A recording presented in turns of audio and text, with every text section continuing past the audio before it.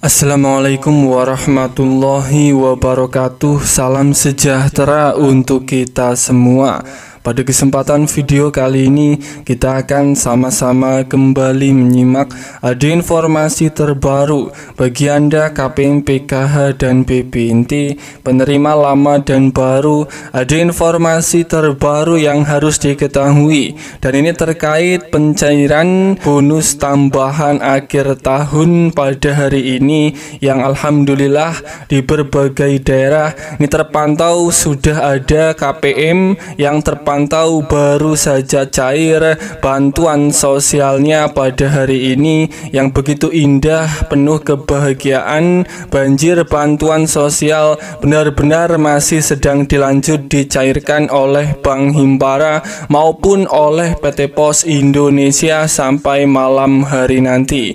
Dan bagi KPM yang sudah cair bantuannya pada hari ini tambahannya saya ucapkan selamat segera manfaatkan uang bantuan dengan sebaik mungkin. Bagi KPM yang merasa tetangga atau kerabat Anda sudah pada cair bantuan tambahannya, sementara Anda belum juga cair, ini harap bisa sabar karena pencairannya ini dicairkan bertahap dan berbeda-beda di setiap daerah.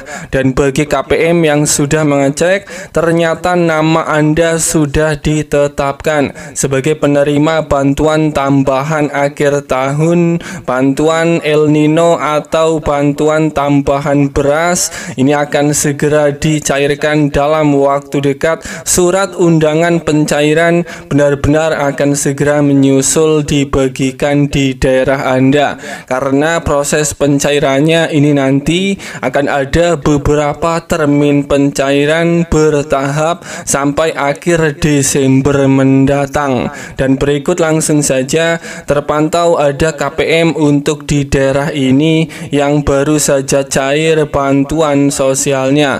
Kira-kira daerah-daerahnya mana saja keluarga penerima manfaat KPM yang sudah terpantau cair bantuannya pada hari ini cair lagi. Semoga daerah Anda termasuk. Langsung saja update bantuan sosial yang sudah terpantau cair bantuannya pada pada hari ini. Terpantau Daerah Cirebon Kota Alhamdulillah bonus tambahan akhir tahun sudah mulai dibagikan surat undangan pencairannya. Cirebon Kota bantuan tambahan akhir tahun bonus berupa beras alokasi bulan Desember sudah turun di bulan Desember daerah Cirebon. Saya ucapkan selamat bagi para KPM yang sudah cair bantuan tambahannya akhir tahun ini.